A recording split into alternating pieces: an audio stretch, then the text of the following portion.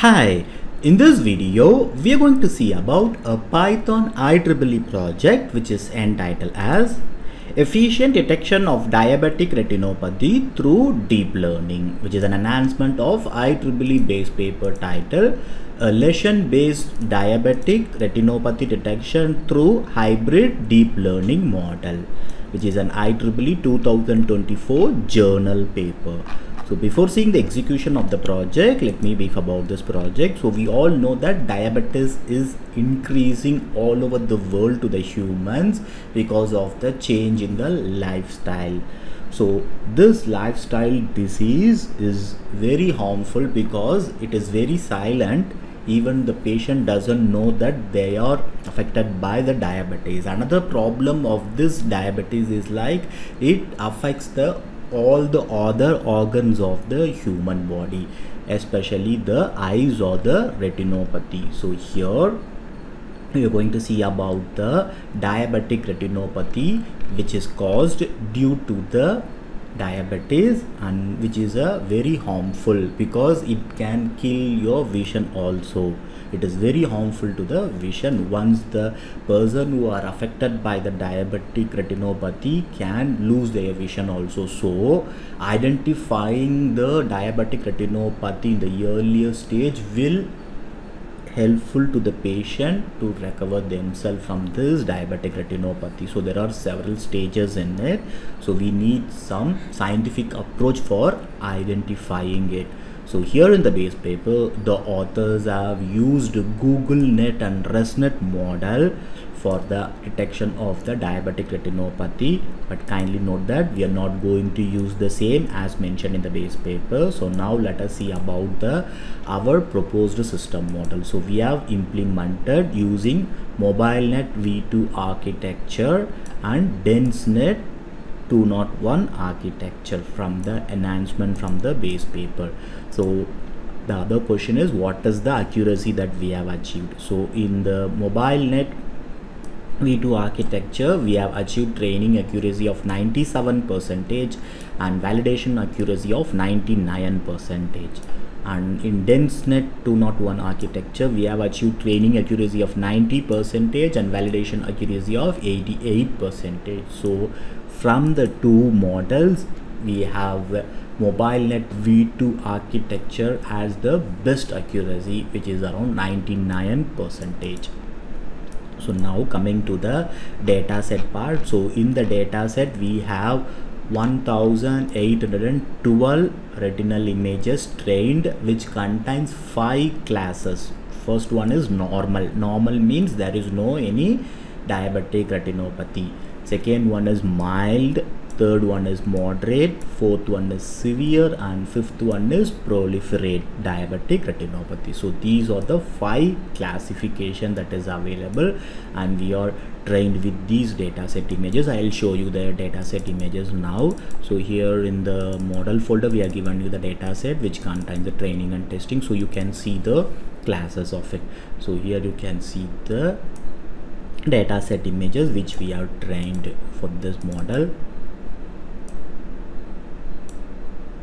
So these are the training images of each class. So these are the dataset images that we have used for the training purpose.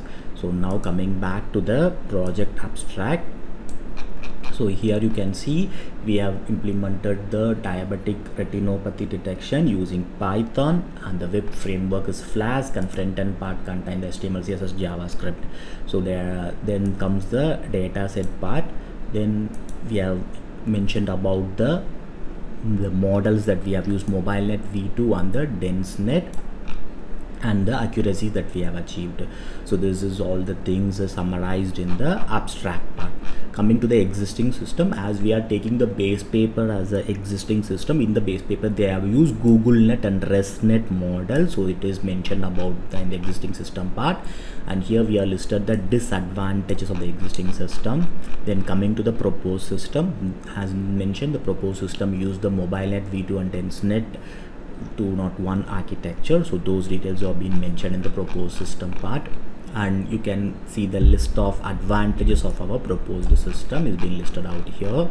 Then coming to the system architecture the input retinopathy images are given and pre-processing feature selection is made and MobileNet v2 architecture plus densenet 201 architecture is being trained and using the prediction the prediction result is maybe normal or mild moderate severe or proliferate diabetic retinopathy. It may be any of these class. And finally we have the performance analysis and graph. These are the system requirements the software requirements. Operating system it can be executed as windows 10 or 11 coding languages python 3.10.9 web framework is flask and front-end part contain html css and javascript. So these are the reference this is the reference based paper of our project. Now let us see the execution of the project. Before execution make sure that you have fulfilled the requirement that is mentioned in the requirements file with the exact version of the python and the libraries installed in your system. So now let me go to the source code folder. Inside that we have the diabetic retinopathy. Inside that we have the app.py file. So now let me open the command prompt here so now type python app.py and click enter and kindly wait for a few minutes. So after few minutes you can see this url just copy this url go to any of your browser. I'm going to google chrome paste it and click enter. So now you can see the home screen or welcome screen of the project with the project title efficient detection of diabetic retinopathy through deep learning so now click this login menu. It will be navigated to the login page. Kindly note that this is a static login page because we have not used any database in the project. So just enter the default username and password as admin and admin and then click the login button.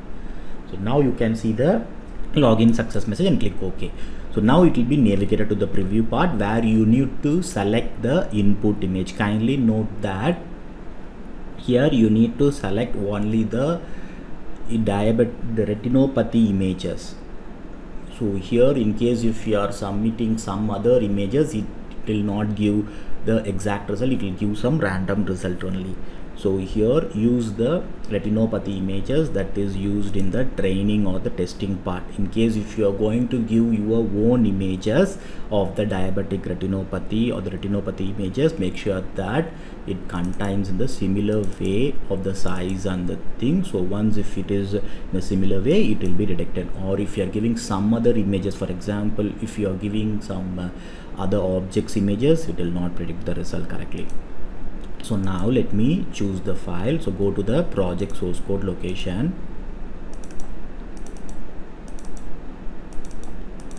So let me select a image from this and then you can select the model which model you wanted. You wanted mobilenet v2 or densenet 201 so as we have implemented two models here we given the option of selecting the model. As we got the highest accuracy in mobilenet v2 i'll select for the first time with this and then click submit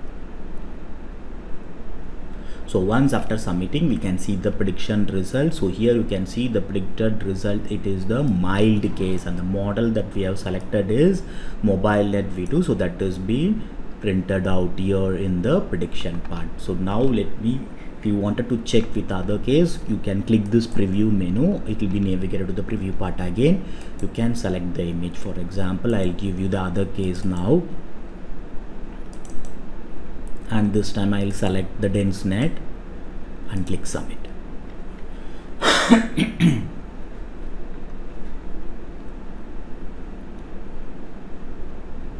So now you can see the predicted result is moderate case. And the model that we have selected is dense net is being printed. So now let me go to the preview part. So this time I'll go uh, I'll just go to the trained images and this time last two time I was selected from the test folder. This time I'll go to the training folder. So in this I'll just go to a case and select it and then click select the mobile net v2 and click submit. So now you can see the predicted result is proliferate diabetic retinopathy. The model that we have selected is mobilenet v2 so now let me go to the preview part.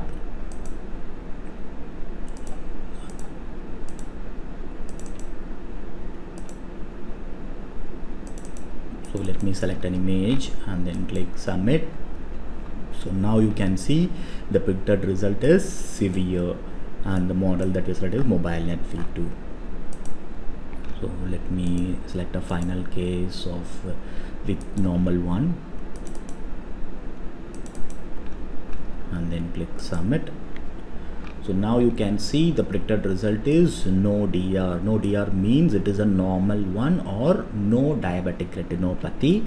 The model selected that uh, I have selected is MobileNet V2. So now I have shown you with the all five cases. So whatever the five cases the, the, classes that i have mentioned that is normal or no diabetic retinopathy mild moderate severe and proliferate diabetic retinopathy all five cases i have shown you as a scenario.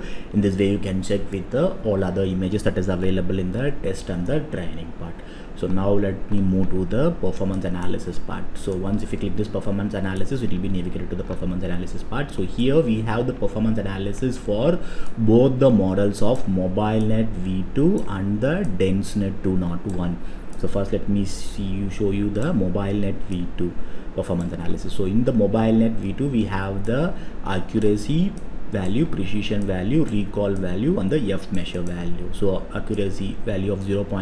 997 precision value of 0.997 recall value of 0.997 f measure value of 0.997 and you can see the confusion matrix of this mobilenet v2 so which contains the true unprinted label of the all the five cases that we have used and coming to the next model performance analysis that is densenet 201 performance analysis. You can see the accuracy precision recall and f measure value. So accuracy value is 0.886 precision value 0.807 recall value 0.886 f measure value 0.886 and finally you can see the confusion matrix of this densenet 201 which contains the true and pretend label of the all the five classes. And finally we'll see the chart part. Kindly note that this is a static chart only. As i mentioned we have not used any database to show the dynamic chart. So this chart does not vary according to the input that you're going to provide. It remains the same only. So the chart part contains two charts one with the accuracy score another with the data set parts. So first chart you can see the accuracy score of the mobile net uh, mobile net v2 on the densenet 201 so mobile net v2 with a training accuracy of 97 percentage validation accuracy 99 percentage. Densenet 201 with the training accuracy of 90 percentage and validation accuracy of 88 percent. So that is being depicted in the first chart. And second chart contains the images ratio that is used in the training purpose. So the data set that we have used contains 25 percentage of normal images. That is no diabetic retinopathy images 25 percentage of mild images 20 percentage of moderate 15 with severe percent and 15 with proliferate diabetic retinopathy. So that is being depicted in the second chart.